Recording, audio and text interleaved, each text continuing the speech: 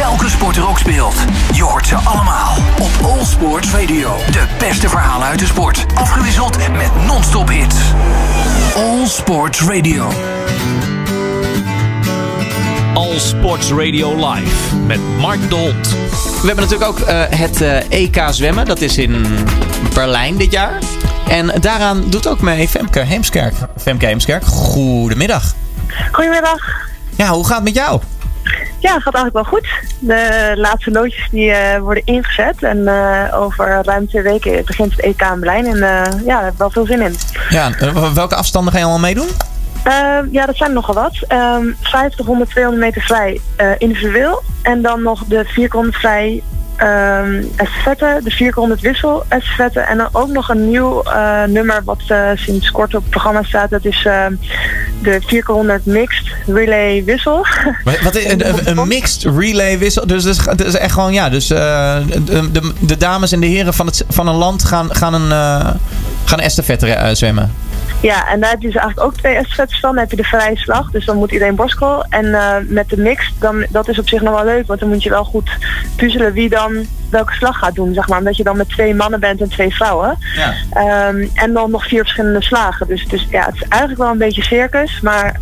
Ja, maar wat, wat vind je ervan dat dit, dit onderdeel erbij is gekomen? Want ja, oh, oh, kijk, bij dat zwemmen, er zijn verschillende afstanden, er zijn verschillende slagen en er zijn dus nu ook verschillende seksen. Ja, uh, ja nou ja, wat vind je er zelf van?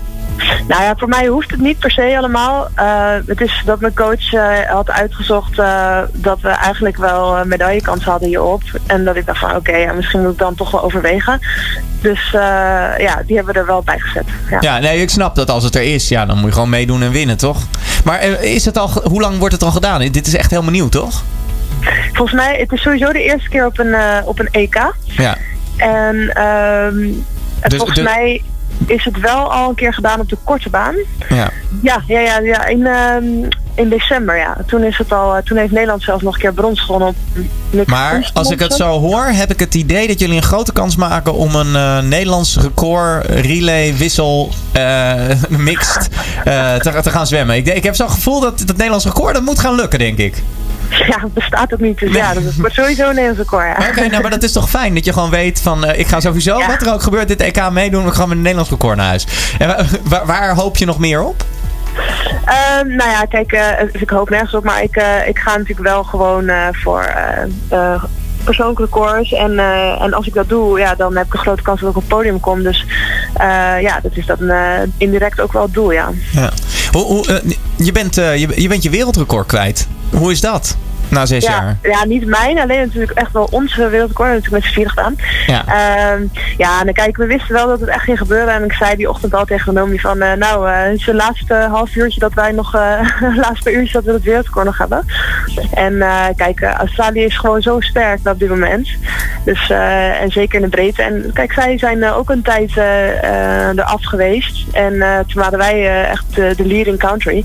En, en nu zijn zij het weer. Dus ja, dat, dat is altijd met sport. Hè? Als je een record breekt, dan weet je dat een keer weer gebroken wordt. Dus, uh... Ja, en uh, is het nou... Is het nou toeval dat Jacco uh, van Nederland naar Australië is gegaan en dat het opeens Australië zo hard gaat zwemmen? Of heeft het toch wel iets met elkaar te maken? Nou, kijk, uh, die Australische dames die zwommen eigenlijk al hard voordat uh, daarheen ging. Door in Barcelona hadden ze eigenlijk al de potentie om het te doen. Alleen toen waren ze nog net niet rijp genoeg. En nu ja, zie je dat die jongere meiden echt toch wel een flinke stap hebben gemaakt. En dan, ja, dat resulteert dan in een wereldrecord. Ja, en hoe, hoe is het dan voor jullie dat Jacco die toch wel echt ja, de drijvende kracht. bij het zwemmen erg mooi. De drijvende kracht. Uh, achter jullie team was dat hij niet alleen bij jullie weg is. Maar dat hij ook nog bij jullie grootste concurrenten dan. Uh, ja, eigenlijk alle geheimen aan het prijsgeven is. ja, hoe voelt dat? Uh, dat dat nu ja, gebeurd is. het voelt niet echt alsof hij een verrader is, helemaal niet. Uh, het is voor hem natuurlijk echt ontzettende mooie kans en uitdaging ook wel een eer. Hè? Dat je bij een van de grootste sportlanden wordt gevraagd om, uh, om die taak te vervullen. En ehm, ja, het is voor ons eh, ook wel weer eh, een, ehm, kijk, een stap om eh, de coach die we nu hebben, dat, dat die zich ook moeten ontwikkelen. Hè? Als je iemand hebt waar je altijd een beetje op kunt leunen en die wegvalt, ja, dan moet je het zelf oplossen en moet je met elkaar creatief zijn. En ik denk dat dat op zich ook helemaal niet verkeerd is. Ik zie daar ook wel weer de positieve dingen van in. En kijk, Jacco krijgen we sowieso niet terug. Dus ja, dan, je moet sowieso creatief zijn. En volgens mij gaat het wel heel erg goed. Ja, en wie is nu jullie coach? Eh, nou ja, mijn coach is eh, Marcel Wouda. Ja. En eh, ja, Ja, dus, eh, ja, dat, dat, hebben, ja dus jij, jij hebt wel vertrouwen in Marcel Wouda. Wie coacht op dit moment Ren- Renomi dan? Want het is toch wel een beetje gedoe geweest, hè? Ja, het is wel een beetje gedoe geweest. Er is veel onduidelijkheid geweest de tijd. Uh, Renomi wordt op dit moment gecoacht door eh, Patrick Pearson. Mhm. En ehm, ja, volgens mij is het nu even tijdelijk. Maar ik kan me ook voorstellen als het goed werkt, dat dat dan blijft. Maar daar Ja. weet ik verder niet zo heel veel vanaf. Dus ik weet alleen Ja. dat het op dit moment bij hem traint. Ja, maar het is gewoon verder... Is het gewoon meer Renomi's probleem? eh, zoek lekker een goede coach. En eh, wij eh, toch zo... eh, daar hoef jij niet de hele tijd mee bezig te zijn, wat zij doet natuurlijk.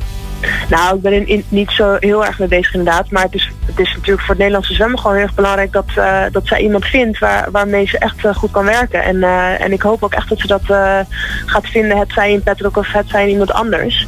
Ehm, kijk, ja, wij hebben haar ook nodig. En, en hoe beter ons team presteert, hoe beter het is voor het Nederlandse zwemmen. Dus ik hoop wel dat ze daar echt eh, een goede weg in gaat vinden. Ja, nou heel collegiaal in ieder geval. Eh, nou, ik wens, wens je gewoon ontzettend veel succes bij het EK in Berlijn. Met hoeveel mensen lig jij op een kamer? Met z'n tweeën. Jullie liggen ook met z'n tweeën. En wie is jouw roomie? Eh Wendy van der Zanden. En eh, is dat, is dat altijd Wendy van der Sande of is dat eh, sinds kort? Nee, dat is eigenlijk sinds ik eh, niet meer bij Marleen lig. Want eh, ik lag altijd bij Marleen Veldhuis en die is eh, gestopt. Ja. En uh, Ja, sindsdien die, lig ik eigenlijk altijd bij Wendy. Ja, oké. En dat gaat goed. Het is wel belangrijk Ja. om een goede roomie te hebben. Als je er eentje Ja, hebt dat is heel belangrijk. Ja. Ja. want je, je hebt zoveel weken dat je bij elkaar op de kamer ligt. Dus nee, maar dat gaat altijd heel erg goed. Ja. Ja. Maar dat je ook een beetje rond dezelfde tijd wil slapen ook. Dat is wel belangrijk, denk ik. Ja, of nou ja, gewoon al. Maar ook dat je gewoon echt kunt ontspannen. Weet je, dat je niet eh, dat je in je hotelkamer waar je eigenlijk lekker moet kunnen ontspannen, dat je dan denkt van oh, ik, eh, ik ga maar niet dit doen of dat want mijn kamergenoot. Ja. Nee, eh, dat is bij Wendy echt, eh, echt heel relaxed. Dus daar ben ik wel heel blij mee. Oké. Maar je vindt het niet zielig voor Irene Wust dat ze nu bij een nieuwe ploeg zit waar ze niet meer in haar eentje op de kamer ligt? Ja, ik hoorde dat net, maar ja, ik vind het sowieso niet zo fijn om alleen te liggen. Ik vind het ook echt heel erg gezellig en ook Ja. wel ontspannend om daar te liggen. Dus ik denk, nou ja, daar, daar wens ik misschien ook wel weer aan. Maar met drie, ik weet niet, dat is misschien dan nog net wel een beetje veel. Ja. Ik zou liever niet met z'n drieën liggen, liever met z'n tweeën. Want dan, eh, weet ik veel, eh, is gewoon Ja. druk. Ja, klinkt goed. Ja, misschien dat ze. Dat, eh, want de volgende stap, als jullie bij het zwemmen steeds van, eh, van die nieuwe afstanden creëren. Het zou, eh, zou misschien, als er een zwembad zou zijn. waar je dus eh, de mixed krijgt. waar je dus eerst de heren, dan de dames. een verschillende wisselslag doen. dan wordt het zwembad heel snel bevroren. Dan komt Irene Wust. En die schaatst dan naar de andere kant. En eh, dat lijkt me een hele spectaculaire sport. Nou, ik zou, eh, maak maar een, eh, een opzetje. Ik, ik, ga, ik ga hier een werk van maken. Dit, dit, dit moet kunnen. Zeker misschien in die nieuwe schaatshal in Almere. Daar gaan ze dit ongetwijfeld eh, maken. Nee, hartstikke bedankt. Le- leuk je even te spreken. Femke Heemskerk. Oké, toch? Dag.